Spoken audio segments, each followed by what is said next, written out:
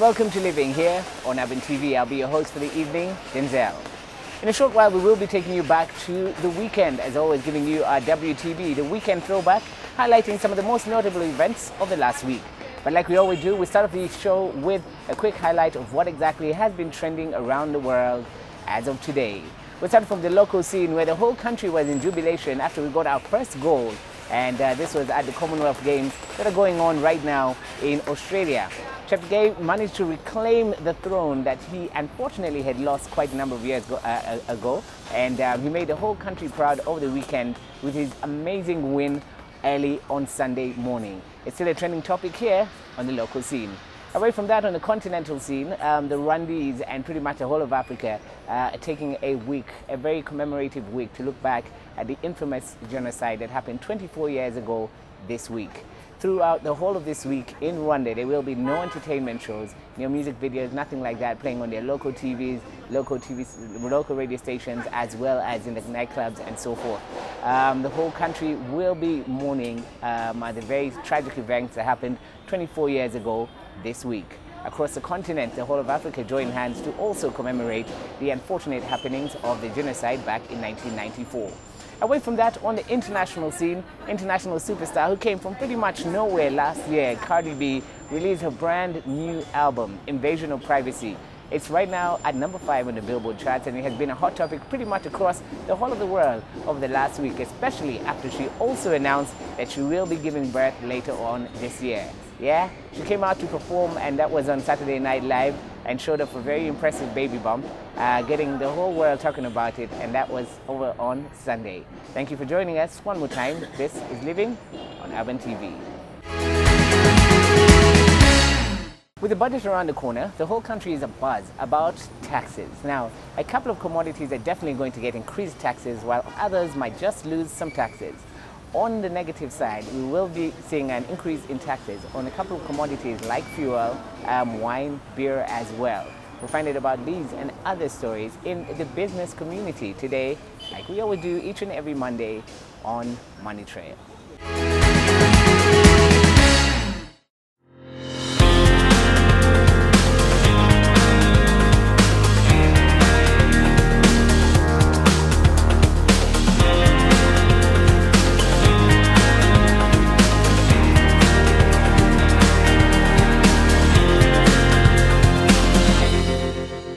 Thank you, Denzel. And uh, from wherever you're watching, we're down here at the Sheraton Kampala Hotel. This is Money Trail. My name is Simon Octel, and it's time now to take a look at the latest in the world of business.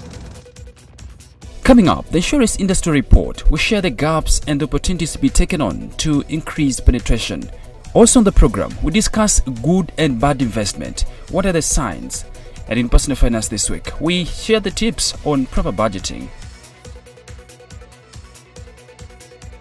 Once again, thank you so much for joining us. Now we'll start with the Insurance Regulatory Authority and the Uganda Insurance Association, which recently released a report that indicated growth in the market by about 20%. Of course, the players or the regulators did say the uptake of agriculture has improved. The insurance, you know, um, the product, the policy for insurance for agriculture has improved.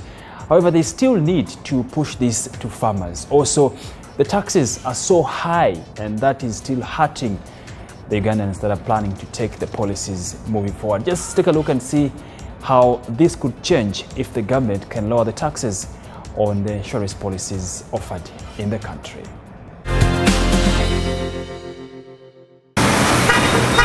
According to Uganda Insurance Association, government should waive value-added tax from agriculture insurance and also reduce stamp duty on motor third-party insurance, agriculture insurance, microinsurance and individual lines of insurance products.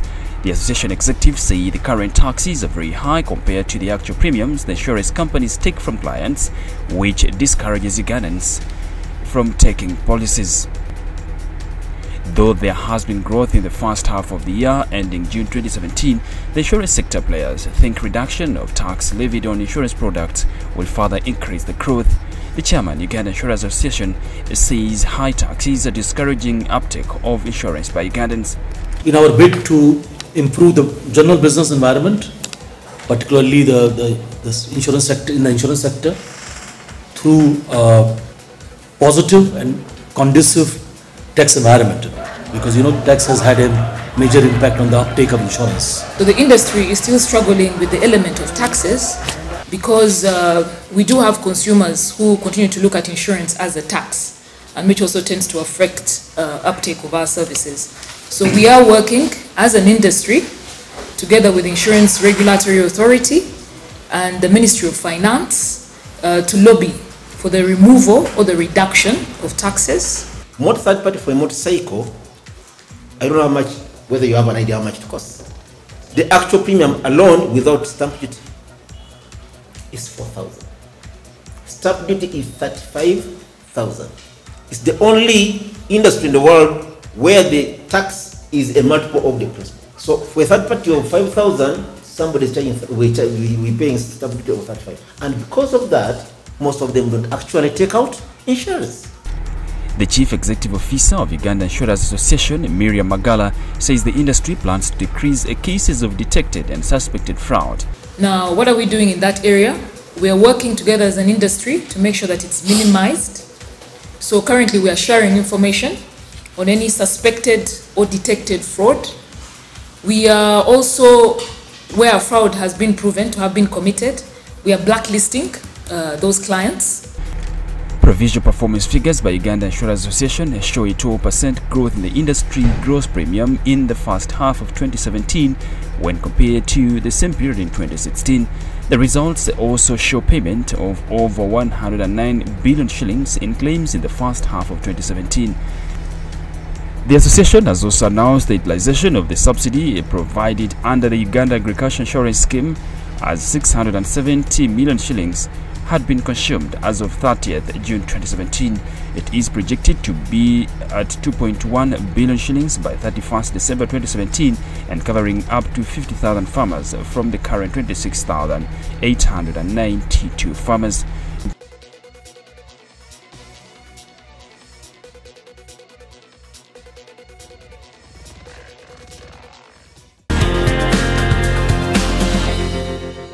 For everyone that invests money, the obvious aspect or the outcome is making profits out of what you do. But have you ever thought about something called good and bad investment? And that is what I'm speaking to Vincent, a uh, business rescue doctor, about today. Vincent, good and bad investment. Those two things happen, but most people don't seem to understand the difference. What do you make of good and bad investment? Good to see you, sir. Great. For investment, hmm. we mainly focus three basic components. Okay. So we are looking at the risk, the return, and the marketability of the investment you are undertaking. Hmm. So, how big is your risk, and how compatible is it to your return? Hmm.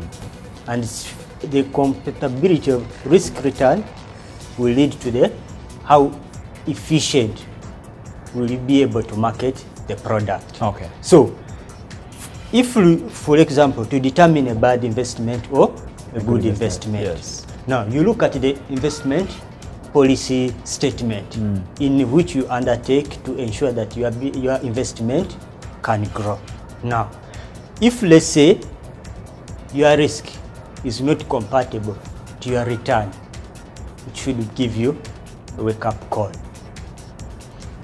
If your risk is higher An investment. than the, the investment you, are, you, you would like to undertake or you have undertaken, then it should give you an indication.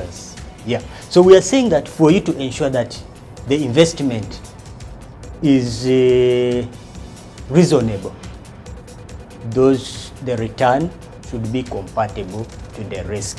Then that's why we are saying that for you to undertake the investment, you see, do a calculated risk. You determine the risk in relation to the return you, are, you will be able to, to get. Okay. Because our, uh, the main challenge is that most of our young people are just focusing, let's say, at starting up that uh, small business. But the mind is not at the return Yeah, you are yeah. undertaking. If then the business is, uh, let's say it's, it's, it's doing well, you know, the investment is, let's say medium, yeah, you know, mid-term investment, and it's doing well. But somehow you start realizing that uh, there are things that are missing out and you're starting to either record lower than you expected. What do you do around there? So that is an indication that something's not going right. Yes. So from that point of view, that's when you need the management decision or the business decision. Mm. What decision are you going to undertake to resolve, rectify that problem? Mm. So that will require high level Now, those are the experts now. It, it, you Or may need you some- may need you may need uh, an expert if we assume that you are unable to detect that problem. But as a business owner, you can easily detect the let's say there is negative cash flow. It can give you a wake up call. So you are able to. What is the problem? Yes. It's a management problem. Fix that. How do you fix that?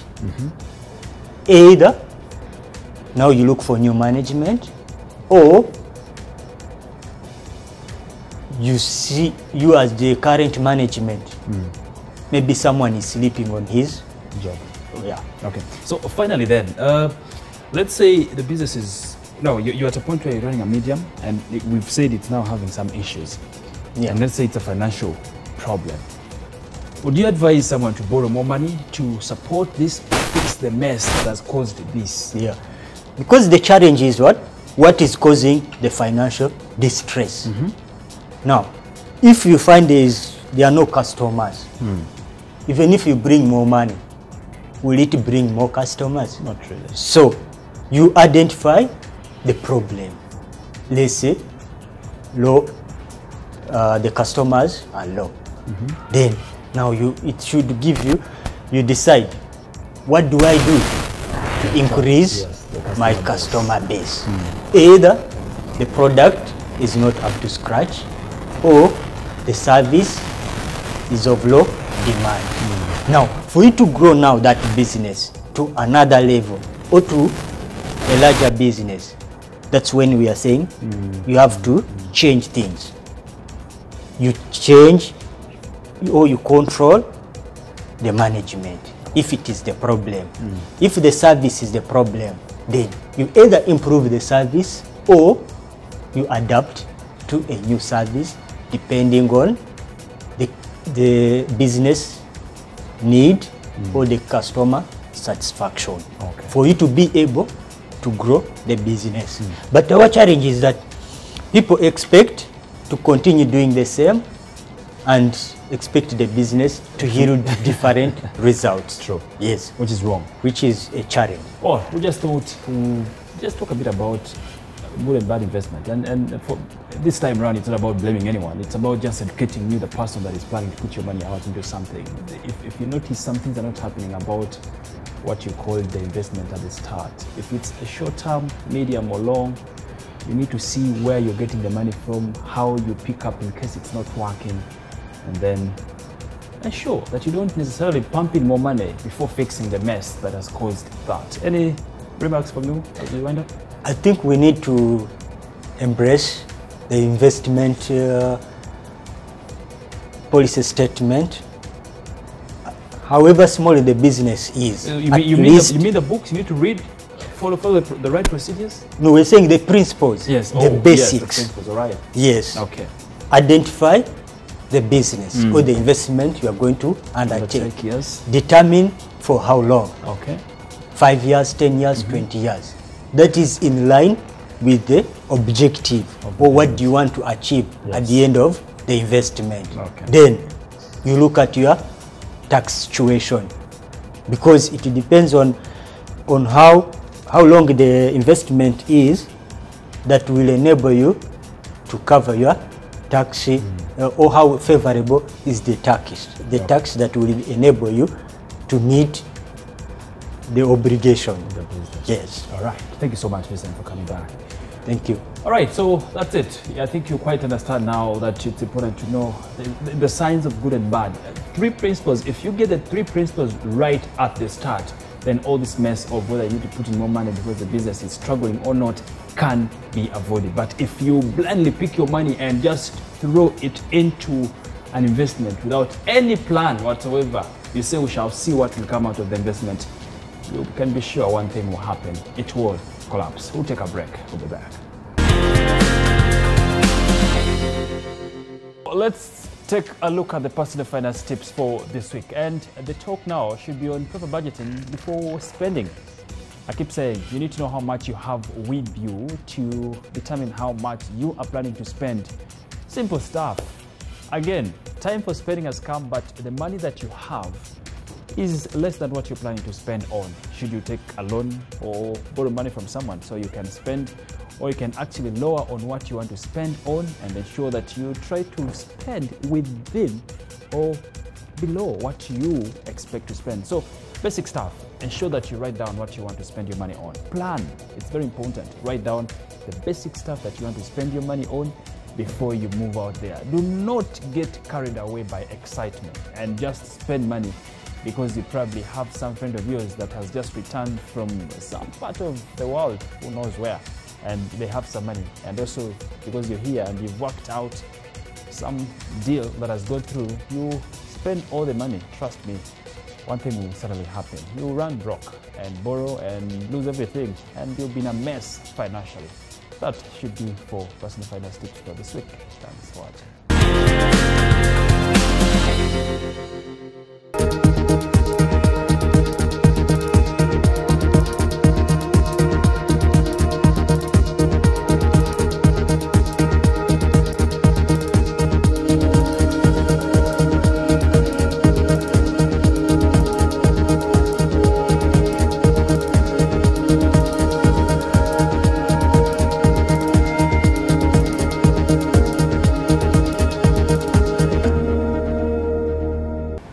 That should do for this week's edition. For all of you that make this show happen, we appreciate you for watching and all the feedback that you send. Remember, it's Money Trail on Facebook, that's Urban TV Uganda, and of course on my Twitter handle right before below your screen, you can leave us a comment on what you think about the show and the topics that you want us to discuss moving forward. Until then, you take care of yourselves. We'll see you next week.